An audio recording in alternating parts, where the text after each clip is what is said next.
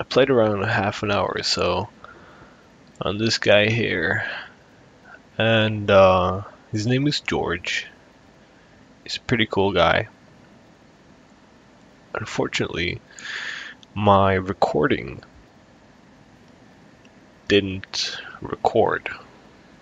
Uh, and I've been talking for half an hour, uh, explaining stuff like what this bonfire is, or what this message is, and what this bloodstain is. I've been really good, I've been really good to you guys explaining stuff. Um, and I, I've just come to the town. I've, I've done some stuff, so uh, it kind of sucks. Uh, I won't be making another character just to do that stuff because I'm still level one. I've got no points anywhere. Um,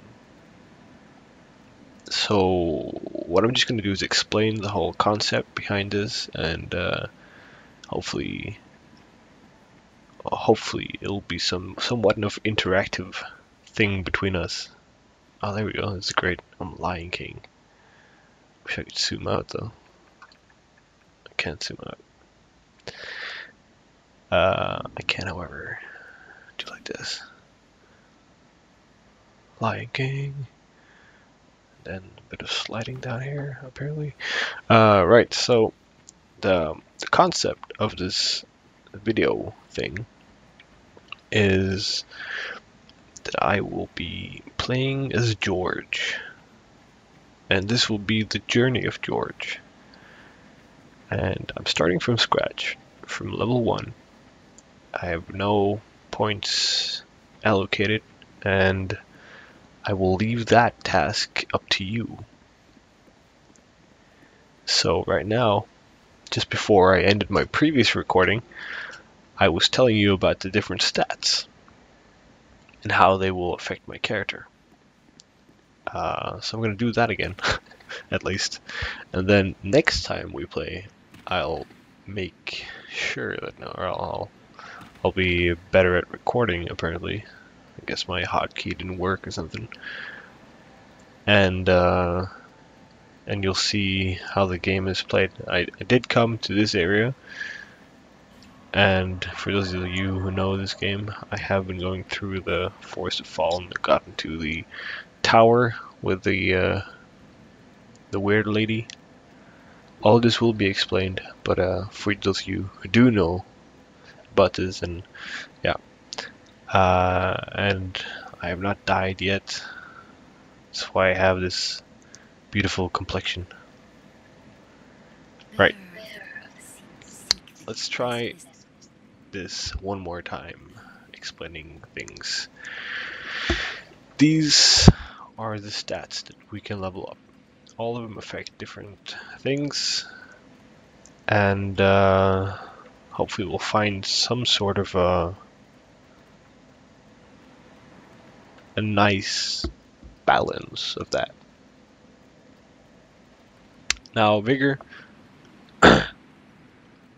uh, vigor increases your uh, your HP, how much life you have, uh, and pretty much only that. Endurance increases how much you can uh, sprint and how much you can uh, punch and roll and stuff like that. Vitality is how much you can carry. Uh, all weapons and equipment that you have on you will uh, will weigh, lack of a better word, they will weigh stuff. Uh, and if it's too heavy for you, then you'll be encumbered or over encumbered, and and you'll be uh, you won't roll as well as you could. You'll be like just like falling down on the ground, and you can't sprint, and it, it, life is hard. Uh, what is this again? Attunement. That's for spell casting. So if you want me to be a spellcaster, you can um, increase my attunement stuff. It'll help me uh, have more spells. I'm not too sure. I haven't played a mage, but I believe it will help me have more spells at the same time. and also how fast I cast them. Strength is for heavy weapons, uh, big weapons, so I can hold them, and also for uh, attack. Dexterity is for smaller weapons, uh, light swords and daggers, and uh, well, dexterity weapons, I suppose. Uh, adaptability is it also increases something called agility, which I'm not sure, but I think maybe that has more to do with dodging than uh, than stamina. I mean, you dra drain stamina when you dodge, but this might help with the dodging. I'm not sure. Someone should tell me this. Intelligence is for cast speed as well as uh, different uh, aggressive or offensive magics. Uh, we need that to cast good spells. And faith is if we're um, holy guys and uh, we need to heal and stuff like that. Uh, now I said you have seven points. Seven points you can give me. And you can pretty much put them anywhere. I will, to my best, try to put them exactly where you say you want them. Uh, you can just say something like, uh, like split them between vigor and endurance if you're if you're lazy. Uh, you can say just max out vitality. Uh, but I mean, let's try to be slightly realistic here. Uh, and as as you will see when we progress, uh, some things require some things, and hopefully you will do the right decision and sort of help me in the right way and not completely do me. Uh, and uh, yeah, let's try to, to build a hero, okay? This journey of George. We're going from zero to hero here. Right now we only have this dagger in our fist. We also have a binocular, but that doesn't do us any good can't even punch with it. We can only look through it. So, yeah. I don't think we can punch through it either. Uh, just give you a slight, slight indication, like this cleric chime. I'm not even sure what it is, but it, it requires uh, 10 faith. So that'd be 4 points if we want that one.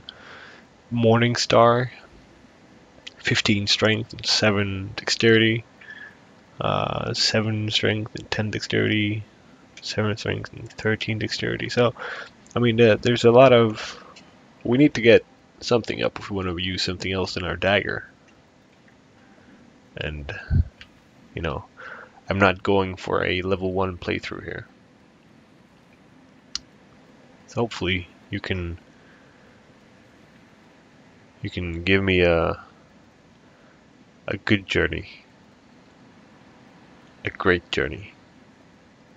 Next time, after you decided how to do me, or or maybe, hopefully, how I will play this game properly, then we'll uh, then we'll see how many times I die. Thank you. Enjoy.